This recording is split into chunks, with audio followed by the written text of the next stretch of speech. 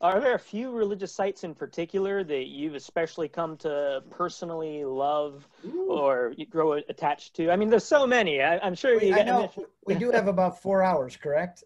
Uh, you know, yeah. No, honestly, we could keep this going. I wouldn't mind. Like, this is fantastic. I, I, you know, your your personality and attitude to this is amazing. We we could make a ten. We could have a ten part interview. Uh, you know, Over potentially, time- right? Yeah. Over time, I wouldn't mind. Well, in answer to that question, I have to say that I have two favorite cities in the world Jerusalem and Rome. Hmm. And those are my two favorite cities for several reasons. If I had to live six months somewhere, I would probably live in Rome because of the glory of Christendom. Over 800 churches in the city of Rome alone. The history of the saints and the martyrs there is unprecedented. The other fam- favorite city is Jerusalem. And that's because everywhere you go, it's a holy site. This is where Jesus was. This is where Mary did this. This is where Paul was. This is where Peter. Israel, the Jerusalem is just dumbfounding. It is totally life transforming. I make a distinction, William, between holy gra- holy sites and sacred sites. Only in Israel do you go to holy sites. Holy hmm. because God sanctified them by his very footprints. That's why my video series called Footprints of God. Only in Israel do you have places that are holy sites because Jesus was here. Even there's one, this is kind of fun. I'll ask a, a little riddle here. Where's the only place where the Trinity walked on the earth with all six feet? Where? Let people think for a moment. Dun, dun, dun, dun, dun, dun, dun, dun, dun, dun, dun, dun, dun. Okay, it's in Genesis chapter 18 where the three visitors came to visit Abraham. Ah, yes. It's called Hebron.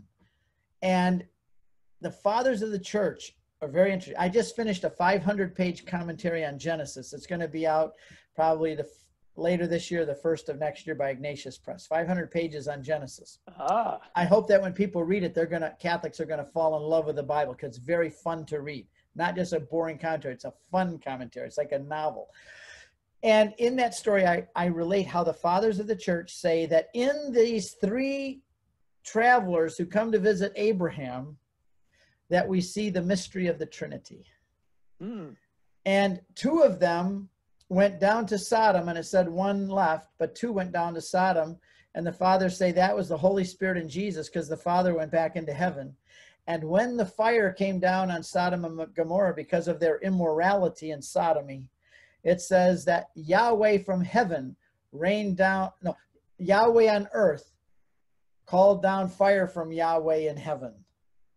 Hmm. It's the Trinity. So anyway, this is what my point is, is that only in the Holy Land do you have the footprints of God himself, which walked on the face and made it holy. Rome is sacred. Guadalupe is sacred, but it's not holy in the sense that Israel is. So I have to say that my favorite places in the whole world are in Israel.